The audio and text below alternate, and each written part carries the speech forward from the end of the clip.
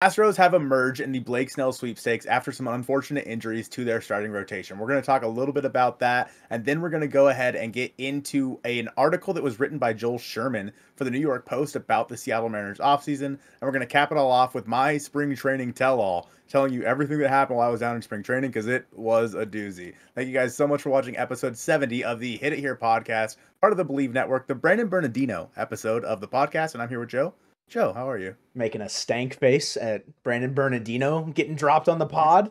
Happy about that in a, in, in a weird way. So, something I'm not happy about, segues are fun. Blake Snell being an Astro is, was in just bad. Bad vibes mm. all around. Obviously, nothing is gross. yeah, nothing has really developed since the initial. Oh, Jose Urquidy is, you know, getting pulled from his game because he immediately pointed at his elbow. Oh, it's done. And then like Verlander's obviously behind schedule. There was JP France who was behind schedule. So the Astros rotation is looking a little bleak. And obviously there are two big name free agencies in the free agent pool still, Blake Snell and Jordan Montgomery. And if I was a betting man with the news that came out recently, I'm betting on the fact that Blake Snell's probably going to be an Astro. I don't want to I don't want to deal with that, but quickly a word from Bet Online. With the Seoul Series right around the corner and opening day for the rest of the teams around baseball shortly after, you need to get in your bets for the win loss projections soon. And the best place to do that is Bet Online. So whether or not you're betting under on the Yankees after the Gerrit Cole injury, Bet Online is your place to do it. And if you're not super interested in betting baseball right now, basketball is still available to you. And BetOnline continues to be your number one source for all the basketball wagering needs, including pro and even college hoops, even though March Madness is ongoing and we're close to wrapping that up. The NBA is still there and it's leading into the playoffs. And with up to the minute odds, stats, and trends, you can follow your favorite teams in the NBA's path to the playoffs with in game live betting, contests, and all the best player props. Experience the world's best wagering platform anytime for your desktop or your mobile devices and head to BetOnline today to become part of the team and remember to use promo code BLEAV. That's B L E A V for your 50% off welcome bonus on your first deposit. BetOnline, the game starts here. So the most recent news that's come out between the Astros and Blake Snell is the fact that they're balking at his price. They do not want to pay 33 million a year. The recent, you know, number, you know, the figure that's been thrown out is two years, 66 million with an opt out after two years. And so then that's begging the question. I know Mariners fans all over Twitter like, oh, would he go for two years 44 or two years 50? What's the hometown discount going to look like? It doesn't matter. The Mariners, we are so far removed from the situation, I feel like, that it shouldn't matter unless we want to play the biggest spoiler of all time and just go sign him to say screw the Astros. That's the only way that I see it happening. But realistically, like that's just out of the window. I would have preferred another in division, you know, in the division team to go sign him, the Angels. I would have preferred that over the Astros because adding Blake Snell, a two-time Cy Young winner for a reason, to the Astros team that would make them better. Like realistically, it's going to make them better. The rotation as it stands right now is Framber Valdez, Cristian Javier, Hunter Brown, Ronel Blanco. Yeah, oh. n- that's a name. Oh. And JP okay. France. That's according to roster resource. Obviously, you add in Blake Snell into that, you get Justin Verlander back at the end of May or, you know, end of April, whatever. Maybe Urquidy comes back. France is, you know, there's a lot of question marks. But if you add Blake Snell into that, unfortunately, that is a really solid pitching staff. One through four until like Verlander's back. Then one through five is like, you're good. And with how the Astros bullpen is also kind of set up, the fact that Blake Snell only goes five or six innings, you're fine because Abreu, Pressly, Hader are your back end three. You they still got Montero who had a down year last year. Like Brandon Bielak still in their bullpen. Like obviously, you know, Bielak's not like the greatest name, but there's names in the pen for the way Blake Snell pitches. It's not going to be that big of a detriment to that Astros team. Colton, if he were to sign with the Astros on a scale of one to 10, like what's your panic meter like as far as the Mariners, like, I guess, like, I don't want to say chances at like the division because like it's never a guarantee, but how much further would that put the Astros, would you say, ahead if it does put them ahead? I personally still think that the Mariners rotation would be better. Okay. Plain and simple. I think the Mariners rotation, even after adding Blake Snell, is better simply because there are a lot of problems when it comes to Blake Snell. I think that His walk rate is something that the all the teams should be concerned about. And honestly, the amount of money that he wants and the fact that nobody is jumping at that offer kind of goes to show the industry's feel for Blake Snell in 2024. Obviously, yes, he is coming back from winning the Cy Young again. But at the same time, there are still those underlying numbers there that say he has trouble finding the strike zone. I like Blake Snell as much as everybody else, but I think that if he was to sign with the Astros, A, I'd be sad because obviously he's a Seattle guy who loves the Mariners. But B, I think that my panic level would say, okay, they added the reigning Cy Young for the National League, but they haven't really done a whole lot else this offseason. Obviously, they did add Josh Hader as well, so they kind of fortified their uh, their pitching staff and as a whole. I still think I take the Mariners pitching staff over that at full strength. I think that Verlander's on the wrong side of 40 now. Old there, man. Yeah. Is there a right side of 40? Um, I think that JP France, who knows, coming into next year, you know, kind of where he's at in his throwing program. Framber was very hit or miss last year, in my opinion. I think that he was one of those guys I expected to have a much better year in 2023 than he actually did. And same with Cristian Javier, a guy yeah. who I think we've expected to kind of take over the mantle as one of the better pitchers in the league, and he hasn't done that. But even after all this smoke seemingly blown up, I'd say, by the Astros and maybe Scott Boras, maybe, probably, probably, the Astros are probably out. Um, they're going to be over, you know, the tax threshold like pretty significantly if they added Snell at 30 even like under that, they're probably going to be in that luxury, like the luxury tax. So it's like it's not very realistic for Blake Snell to go to the Astros just based on the premise of like money. It's just not not in the cards for them. So even with you know the potential, it's kind of scary.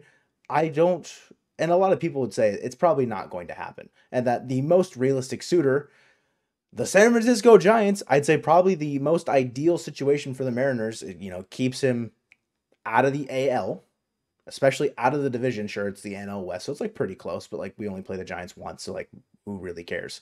The Giants are the favorites as it stands right now. I think that the Giants rotation, adding Blake Snell, first of all, for the Giants, that'd be honestly pretty solid because mm-hmm. they obvi- they already have Logan Webb, they have Kyle Harrison, they have Robbie Ray coming back eventually.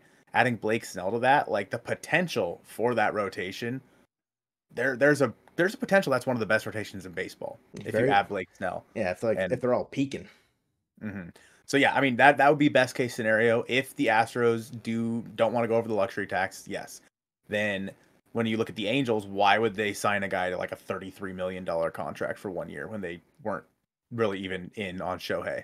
Mm-hmm. So I think that Blake Snell, and I, it makes me wonder if he's going to drop his asking price even more because as we get even closer to opening day, is he willing then to drop it to another, you know, however, like maybe he's willing to drop another 10, like you, like you said, people were saying for the Mariners earlier. Maybe he's willing to do like a low 20s, like on a one year deal or something like that. I think high AAV for one year makes more sense yeah. for a deal for Blake Snell at this point. And, but obviously he is looking for, he, what he, in a perfect world for him, it'd be decent AAV with a longer term contract. But at this point in the game, it's just not going to happen. So I think that, or maybe maybe maybe a team tries to defer, and maybe that's how a deal gets done with the Astros. Maybe maybe mm. they want to hmm. defer like some of his money over the next couple of years, so they're not hitting the luxury tax this year. So I don't know. I think that there's a lot of different ways that this could go. The fact that we're sitting here on March 18th and Blake Snell has not signed anywhere is really bad for baseball, in my opinion. But I just pray to God it's not the friggin' Astros. However, you did talk a little bit about the Mariners signing him just to spoil it. God, that'd be funny. That would be so good. It'd be so stupid, but it'd be so funny. I wouldn't have any confidence in the fact that it was John Stanton that had orchestrated that move. Like it could be Jerry's head if that move does get made.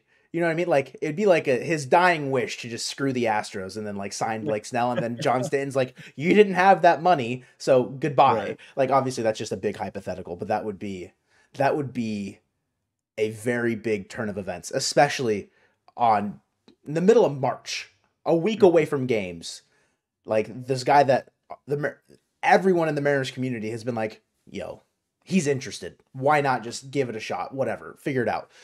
And then you wait like four months, and then you finally sign him. It would just be very, it would be kind of funny ultimately. And I don't know what that would mean for the Mariners rotation because obviously then probably one of Woo or Miller are expendable. Yeah. And obviously the Mariners don't want to do that. So let's not even start to talk about this actually happening because then I I can just see the comments now saying, well, maybe they should do it then. It's I mean, not going to happen. they're probably mad at us that we talked about the Astros for about 10 minutes to start a pod, a Mariners podcast. You're right. You know what? Heck the Astros, Joe. Let's Yeah. move on Heck them to an article. That's not any better about in regards to the Mariners' stance in terms of, you know, public media. Joel Sherman, East Coast writer for the New York Post, says that the Mariners should have done more this offseason. Should have tried to make themselves better in this window of opportunity. I don't disagree with the sentiment. It's the the phrasing and the the way he went about it that seems short-sighted from like the media in that way. Like obviously if you've been paying attention to the Mariners, you know the handcuffs that have been placed on this team by the ownership group. The the main point of this article, and I'll let you kind of explain it a bit more, Colton, is the the Gregory Santos deal, where obviously the Mariners traded Prelander Berroa. Whoa, I kind of said that name too fast. Prelander Berroa, Zach DeLoach, and then like a draft pick, which is probably the 69th. nice. Pick. And could we have done more in that trade? And we kind of mentioned that in the last podcast when we were talking about Dylan Cease going to the Padres, like what a trade like that would have looked like. And Joel Sherman suggests in this article that the Mariners should have also tried to snag Luis Robert Jr. from the White Sox. Which is just the dumbest thing I've ever heard. It was never going to happen. Like It's I don't know why Joel Sherman's even mentioning that. It's just not feasible. Yeah, the, the the package would have looked so much different, obviously. Like you would have had to have been throwing in guys like Cole Young and Colt Emerson and Laz and whatnot. I think that whatever Joel Sherman's smoking, I, I understand, yes, the Mariners' window of opportunity is now. You have a great pitching staff. You have Julio, obviously. You have Cal and JP. Yes, you have all those things. They're all relatively cheap compared to what they will be in the future. You have to understand that those players are not as easy to acquire as they would be in MLB The Show, right, Joe? Dude, the show? MLB The Show, and I think that Sherman was like, "Yeah, you got you got to keep the Chris Getz and the White Sox on a loop." It's like they're they're gonna tell you no immediately, and then if you keep calling them, you're not getting Santos either. Mm-hmm. Sorry, they're gonna be like, "No, heck you!" Like, and I understand that yes, maybe this expands to more than just Robert. Obviously, they could be talking about Rosa Reyna and Isaac Paredes, just two guys randomly that I'm throwing out there from the Rays. Yeah. and other guys we talked about throughout the offseason, of course, Reds infielders, etc. But what we've seen from the team so far this spring, I don't think that honestly those moves would have made this team so much better that it would have put them over the top. Of course, every team needs a guy like Mookie Betts in their lineup, but the, it's it's so impossibly hard to acquire those guys, especially with the expanded playoffs, that it's just not feasible. We would we would have needed forced trades on you know? Yes. like that that Yeah. is that is the i think the the baseline is for a trade to not feel like we're going to be you know regretting it in two three years time you have to be able to quote unquote fleece the white sox in this situation. Mm-hmm. And they know what they have with robert jr like they have to know. So, Joe, let me ask you this: yes?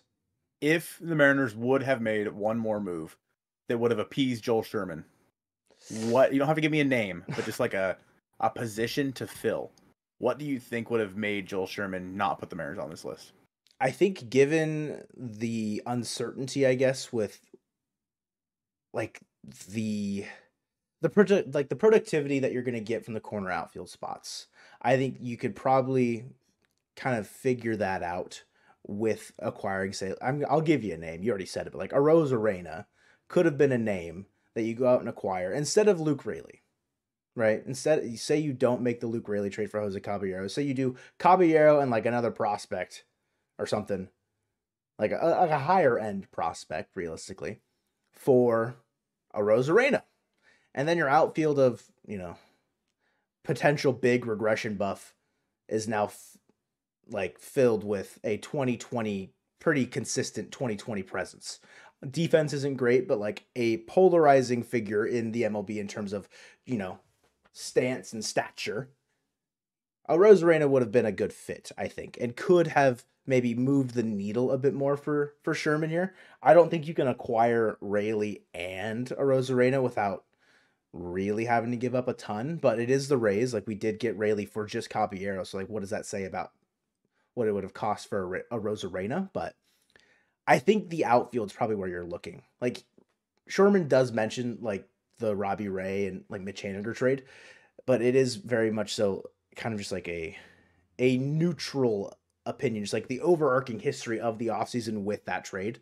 So it's not really like diving too deep into what the presence of Mitch Haniger is. But I think if you added in someone that's more proven than Luke Raley on the other side of the corner outfield spot, Sherman probably feel better. And I think that part of what Sherman is saying is probably ringing true right now with Mariners fans is because of how poorly Raley has played so far this spring. Like I think that he's just going to be like he might end up being the punching bag for this article. Like obviously we know that the probably biggest hole for the Mariners could end up being third base, depending on what happens with Rojas and Urias, whether Urias is healthy enough to start the season on the major league roster and whatnot. I don't know. But I think that if Raley continues to underperform, if Urias or Rojas, one of those guys, falter, I think that there's some weight behind what Sherman had to say because yes, the Mariners moved a bunch of money. They went out there and reallocated contract or reallocated money into certain like different areas. I think that because of that, looking at this roster and realizing they didn't make any like huge, humongous moves to go out there and get a guy like Luis Robert or Rosa Arozarena or something like that mm-hmm. is probably what he's getting at here. He's not so much singling out the fact that like they didn't go specifically after Robert. It's more that them not going out and getting another big name guy. Don't get me wrong, Polanco is a great addition in my opinion. Mitch Haniger is a guy who I think is going to be really good while he's back here as long as he can stay healthy. Garver is kind of that big name guy. I think that when you think of guys who have been more well known over the past year or so, Garver is probably the most notable guy that they brought in. Uh, him or Polanco. I mean, both of them have been really good. Obviously, Garver was in the World Series though, so that's what people see. Yeah. I think that his thing is that they just didn't go out there and add another marquee name. But realistically, how many marquee names do we see get moved this offseason? Juan Soto? Like that was the big one. Obviously like Corbin Burnes, but why? So I don't know. Were there any other marquee names that I'm missing? Most recent was just Dylan Cease, but Dylan Cease, yeah. Know, but again, why? Yeah. We're we were linked to him, but it's just pitching didn't make sense with how the Mariners kind of like continued to orchestrate their offseason and like the moves that they chose to make. So yeah, it would have had to have been an offensive player, but most of those weren't really changing hands this offseason. So Colton, we we've talked, yeah. I think, enough about some some of the more negative things in the Mariners' life. Mm-hmm. Would you begin your journey through spring training for us? Would you would you let let us into your world? My your journey, last, your last week. So, I've been MIA for the last week for good reason we were well i was down in spring training. We is a strong and word. we is a, we is a strong word. I was down in spring training and um, a lot of different things happened. Some good some bad. Joe where do you want me to start? I think what you should start with is rattling off all the the little shout outs you should give so you don't forget about them later. So I met a ton of you while we were down there. And by the way, if we did take a picture together, please send it to our email at marinermojobiz at gmail.com or post it to us on Twitter or Instagram so I can get it printed out and put it on our little wall thing here because uh, a lot of white space on there. But I got to give a shout out to everybody that I met. First off, with Evan, I believe that you and I we met in the uh, we met in the Target. I'm pretty sure. Mm-hmm. Jonathan, who was apparently staying one level above us in the hotel, I met him multiple times. Him and him and the family were super cool. Dustin and Holly met them at Hohokam. It was super great to meet you guys. Then there was Jake, Mary, Lance, Cole, and CJ. Thank you guys for hanging out with me all day. Brennan, Justin, Matt, Courtney, Mitch, and Steve. Thank you guys all for coming and saying hi. There's one person whose name I can't remember. Starbucks guy. I am so sorry. I, I, I tried to find you throughout the rest of the week to ask you, but I just couldn't see. I, I did not see you. I was like on the phone when I met you, and like I just totally it just like went into my head, and then immediately like I lost it. So you Starbucks just, guy, you should have waited for his name to get called out. Wow, you must work at Starbucks. I, yeah, I'm normally the Starbucks guy around here. yeah, uh, real Starbucks guy, not Joe. Um, I'm so sorry if you see this, please comment your name. I love you. So so bold and so forward. But, you know, it was super cool to meet all of you guys. Jake, you know, we rode the same plane home together. So it was just nice to see everybody and have everybody come up and say hi. Oh, Rick Todd. I didn't mention Rick Todd, which I feel like is a good segue into the next point. For those of you that didn't know, um, I was on uh, 1170 KPUG. I was on like a radio station for a little bit, just randomly. It just kind of popped up. I met Rick down there. He works for the radio station, and him and Alan, his uh, his the podcaster, not podcaster, interviewer guy, he they were in a bar across the street from my hotel. they're like, hey, you know, we're we're going live from 3 to 6 p.m. You should stop by. And I didn't stop by the first day, but I stopped by the second day and had a good time kind of talking ball with them. Uh, ran into Ryan Divish while we were there. Divish came on the show as well. So yeah, it was a lot of fun. Just kind of be able to be down there and do that radio show with you guys. And we might be able to do a few more radio spots with Rick and Alan over there at KPUG. Colton, what was your, I'd say, outside of meeting all the peeps, what was your like most fun interaction that you had? My most fun interaction. For those of you guys that have seen or heard or have even been down to Peoria, you know the churro guy. All right. I, I'm gonna I'm gonna have Joe post a clip in this podcast as well. I'm just gonna make you do so much work. Thanks. You know you know the one, right? I you do I do know the one. So his name is Jose. He was um, selling beer, and I I went out and talked to him a little bit, and you know we became best buds. Me and Jose we're Some BFFs buds. now, and uh, yeah, apparently he's going to be coming up to Seattle at some point this year and selling some beer there as well. So I'm super excited for that. Uh, here's the clip of Churro Guy, me and Churro Guy.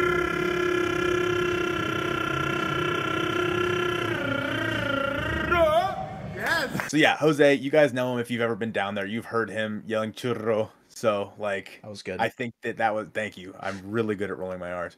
Um, I think that he's like one of the funniest guys that I've met down there. Just super cool to be around, and he's you know he kind of brightens everyone's day when he's out there yelling "Big Tipper" or whatever, you know. Mm. So really, really do like Jose. I'm excited to see him up here in Seattle. So that's your favorite. Do you have a runner up? Is there is there something something else that may have happened while you were down there in in, in Peoria? As in a favorite person that I met? Or maybe just like, or a favorite like a, interaction? A fun interaction, maybe. A fun interaction that I'm not proud of. All right. So I went down. What was I doing? I think I was coming back from a from a game or something. I don't know. I was staying on the third floor. Well, originally I was staying on the fifth floor. That's another story. Staying on the third floor, and I get to the elevator. All right, and um, there's a guy and he walked up the elevator as well, young kid. Um, and he looks at my shirt, and I was wearing a Mariner Mojo shirt, and he said, "Seattle, nah, Padres." And he didn't speak great English, so it was like it, you could tell there was a like a, a language barrier there when um because I was saying some things, and I could tell he couldn't quite understand me, and I couldn't quite understand him. We got into the elevator, and I'm like, "Where are you headed?" And he just kind of looked at me and said, "Yeah." And then I was like, "What floor?" And he goes, "Oh, five. Took him to five, and then he looks at me again, and he goes, "From Seattle?" And I'm like, "Yep." And he goes, "Ah, Padres." And he points to his muscles, flexes and points to his muscles, and then he goes, "Player." And I'm like, "Oh, okay." This is a this is a guy who plays for the Padres, not thinking anything of it. You know what I mean? It's like, okay, yeah, yeah, yeah. I mean, we're 20 steps from the from the Peoria Sports Complex. Makes sense. And I was like, oh yeah, what's your name? And I couldn't quite understand him. And it sounded like he said like something Du Bois or something like that. I'm like, oh, okay, cool. And I got off at the third floor. I was like, hey, have a good night. And he looks me dead in the eyes and he goes, Anglais, malo. Like, like, bad, bad English.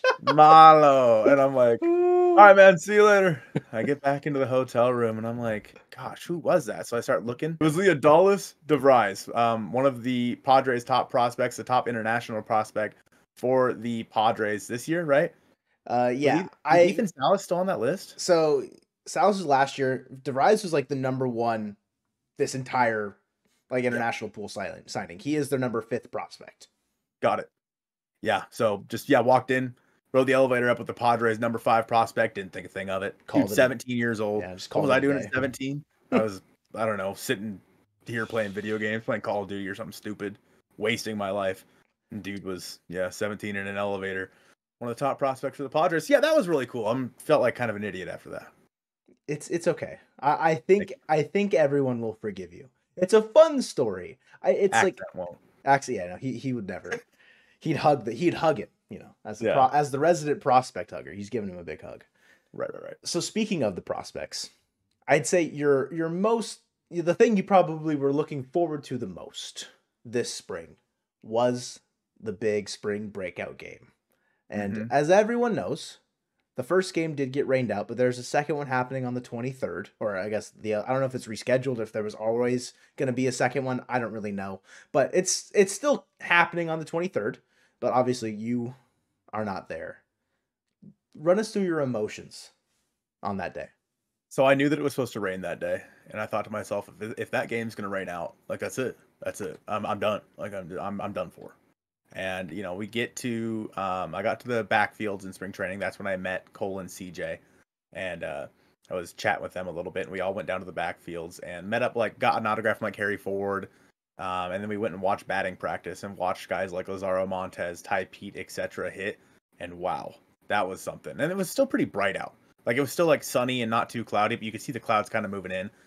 When we got to the ballpark, we went inside and they had it roped off kind of down like the left field and the right field line. You guys may have seen uh, the Mariners Instagram uh, Hmm. story that I was in. Um, that's where we were, and we were getting autographs from a lot of those guys. Ended up, we ended up getting like Fellman and uh, Cole Young. Uh, finally got Lazaro. It took a little bit, but we got there. Um, a lot, along with just a lot of the other prospects, it was super cool to have them out there and signing. But you could tell it was starting to look a little ominous, and even then, it was starting to rain a little bit, and like it was getting on the ball and like getting on the piece of paper we had to get autographed. And I was like, oh no, like, and not then like this. it's probably 20 minutes before game time, and it's just a torrential downpour. And um, they pull the tarp. They're like, it's going to be delayed. And so that was when I went and sat um, or stood in the concourse, and for about an hour, I stood there while it rained, praying that this game was not going to get canceled. Finally, they ca- they came on over the intercom and said the game's been canceled, and I died inside. I I have been to spring training every year since 2020, and I have had at least one game rain out every single year. Really glad that was the one that rained out. that that Arizona Valley just Mhm. not letting you you know stay winning. It's Trying to pretty keep you sunny the rest of the day, by the way. It's like for like what it rained for two two hours maybe. A couple hours, yeah. Yeah. and then the rest of it was just good. Well, I'm not glad to be back from Arizona. I am glad to be spending time back in the normal setup because it was a doozy to get episode 69 of the Hit It Here podcast recorded. But hey, this was episode 70 of the Hit It Here podcast presented by Bet Online, the Mike Ford episode of the Hit It Here podcast, as well as the Ty Adcock episode of the Hit It Here podcast. We appreciate you guys watching this one and go Mariners.